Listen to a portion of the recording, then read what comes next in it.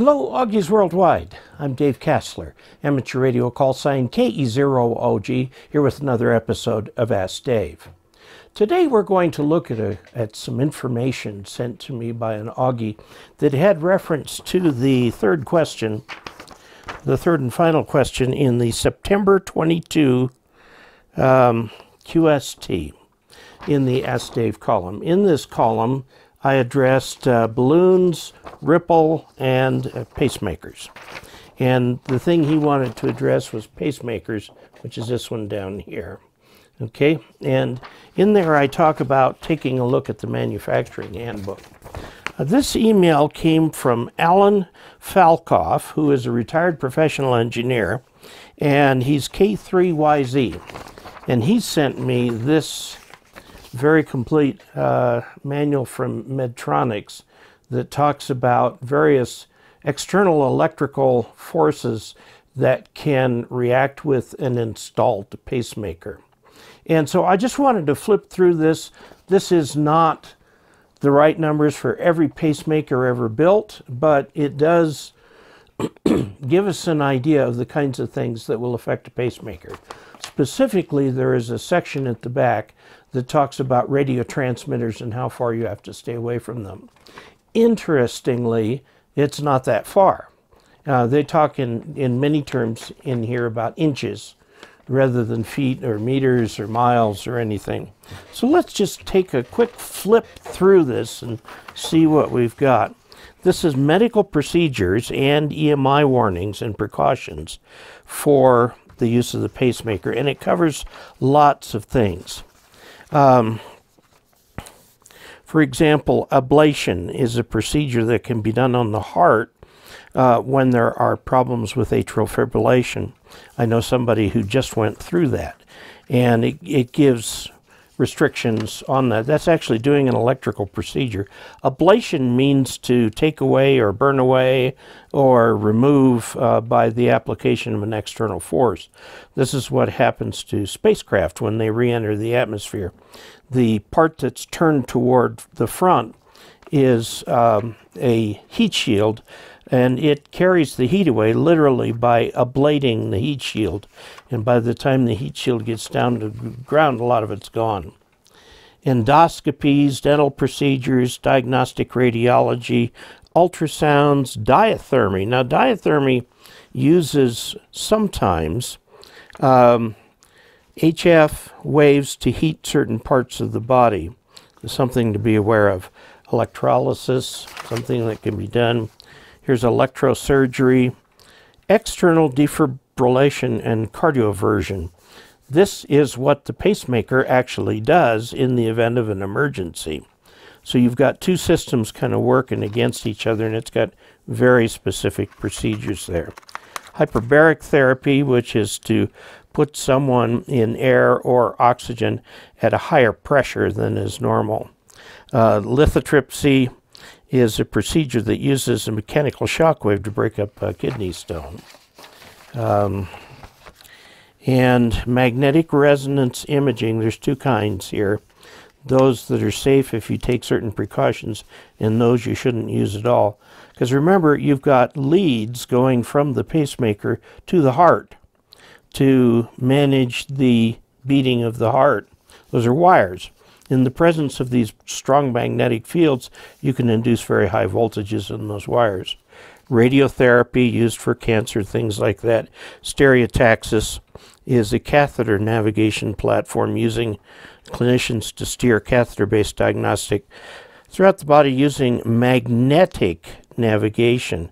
Again, a varying magnet creates a current in an electric wire transcutaneous electrical nerve stimulation, transurethral needle ablation. Oh, that sounds like it hurts. Um, okay, precautions regarding electromagnetic interference. Now, here are some uh, general guidelines. Pause for a moment here while I get the page turned. General EMI, that's electromagnetic interference guidelines for patients. There are area restrictions. Consult with the doctor about going into areas where there are signs posted prohibiting persons uh, from going in. Now, if you're going into a home, there probably aren't any signs. So talk to your doctor beforehand. Symptoms of EMI. This is what can happen to you if you are in an electromagnetic field and it's too high. Uh, the device starts to malfunction. You become dizzy or feel rapid or irregular heartbeats while using an electrical item. Release whatever you are touching and move away from it. The cardiac device should immediately return to normal operation. If symptoms do not improve when you move away from the device, consult with your doctor. If you have an implanted device and you receive a therapy shock while using an electrical item, release the item or move away from it. Now, here's very important proper grounding of electrical items. Your shack should be properly grounded. If you've just gotten into ham radio and you've set up a bare bones if you've just gotten into ham radio and you've set up a bare bones station, move immediately to bring in proper grounding. to avoid interference, things should be grounded. All electrical items are properly wired and grounded, supply lines, swimming pools, hot tubs, and so on. Now let's look at some of the wireless communications devices. Okay, to avoid interference, keep the following items at least six inches away from your cardiac device. Now, your cardiac device is implanted in your chest, um, and so a cordless telephone would probably be more than six inches away. A laptop, a tablet computer, all of these things like this need to be kept away, six inches away. Headsets, headphones, and earbuds remote keyless entry and remote car starter devices, hold them out away from you. Remote controller, radio controlled toys. Again, a lot of people will put the control, put the controller right on their chest while they're controlling a drone or something like that. So move it away from you like this. Okay, because if you have it right here, it's right next to where your device is, and you're breaking the uh, six inch rule. Okay. To avoid interference, do not carry a wireless device in a pocket over the cardiac device or in a shoulder bag near it. Now, magnets in these wireless communications devices can interfere. So put these things in your pocket. Uh, okay, mobile telephones. Six inches away from the driver. Don't put this in a pocket right next to your heart. Household and hobby items with motors and magnets again six inches away. This includes handheld kitchen appliances such as mixers, sewing machines, and sergers. Serging is a way of sewing. Personal care items such as handheld hair dryers, electric shavers. I hope none of you are shaving your chest. That would be interesting. Electric or ultrasonic tooth uh, brushes. Uh, items that contain magnets such as bingo wands, mechanics extractor wands. These are magnetized screwdrivers, things like that. Boat motors, electronic body fat scale runs electricity.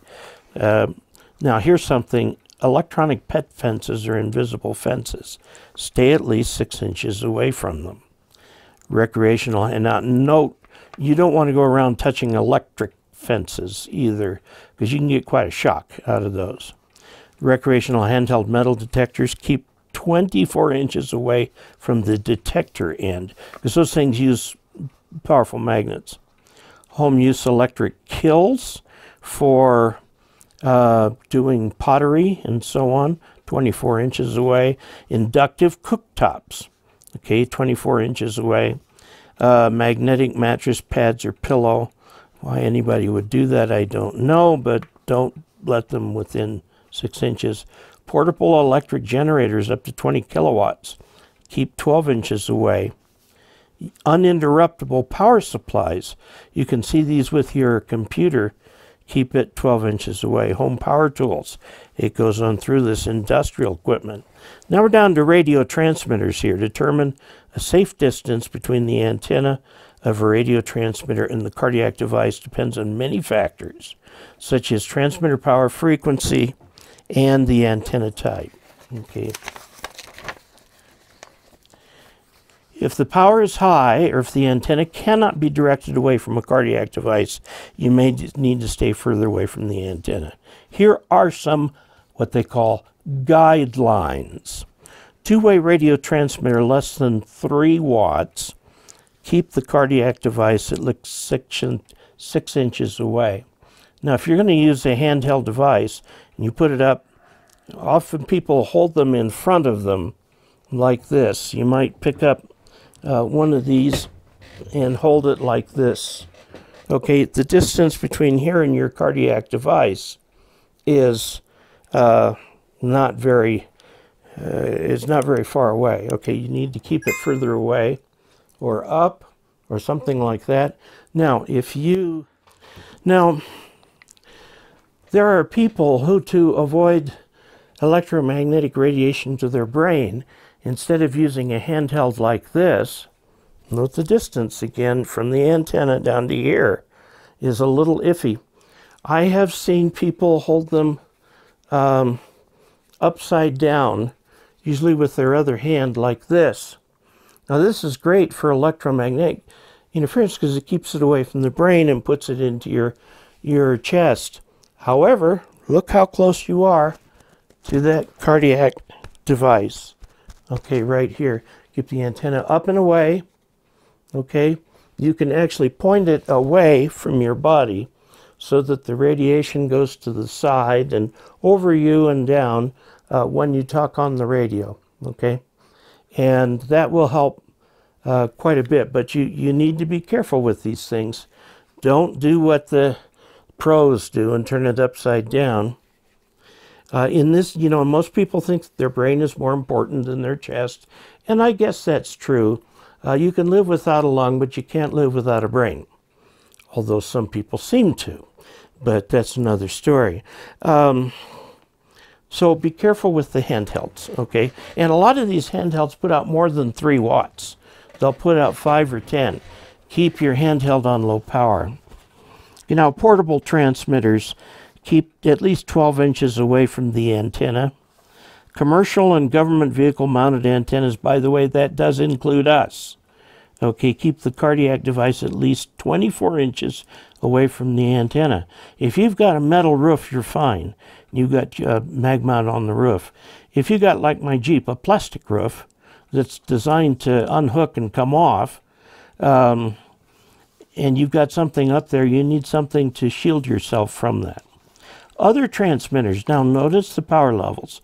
125 is a normal amateur radio station to 250 we're getting to the larger non-amplified stations stay at least nine feet away from the antenna. Notice that's the antenna, not the radio. My antennas are all, all further. For transmitters with power levels higher than 250 watts, avoid restricted areas containing the antennas. Avoid them entirely, okay? so if you're going to go over to a friend's shack or in your own shack or something, and you've got a 250 watt uh, or 500 watt or 1500 watt antenna uh, or amplifier, you want to keep the antenna quite far away from uh, the house. Okay, I would recommend, just from reading something like this, if you have a Medtronic, this is a Medtronic, if you have the Medtronic or any uh, heart uh, device, pacemaker, um, that you just stay below 250 watts. Use your 100 watt radio. Okay. What's more important? Um, so, what's more important, making a QSO and hurting your heart? I don't think so. Remember, ham radio is a hobby, and your heart is life and death. So, follow these guidelines, and you can actually pretty much operate normal amateur radio with a couple of little exceptions, uh, like the handheld. Don't get the thing right down here next to it. Keep it a few inches away. Operate on low power, 3 to 5 watts on these things, okay? Because the antenna is just too close. Okay, if it's a fancy one that boasts 10 watts out, turn the power down. Get it down to 5 or 3 watts or even 2 watts. If you need to hit a repeater, get an external antenna, okay? Now, if you have a vertical antenna, which is common for FM at VHF and UHF, um, the signal is going to radiate out, not up and down. So if you get that up on the roof above you, um, you'll be in good shape and you can run your 50 watt radio or whatever it is that, uh, that you have. So there is a little more specific guidance on what it takes to uh, wear um, a pacemaker and how you use them around ham radio. I would like to say a special thank you to Carwood Bear, who is a patron via Patreon and is supporting this channel financially. Uh, you also can do that by going to patreon.com slash KE0OG and signing up for whatever seems right to you. Uh, this all helps provide channel funds. The channel funds are used for like paying my assistant, camera equipment, and so on, other hobby things I try to bring a little bit of to you and to keep the, the channel going. So, uh, and by the way, all that money that comes in is taxable. It's income. I don't pocket any of this without paying taxes on it. It's all properly taxed. So, um, also, please like and subscribe. Share this with your friends. Tell other people about this channel. And until we next meet, 73.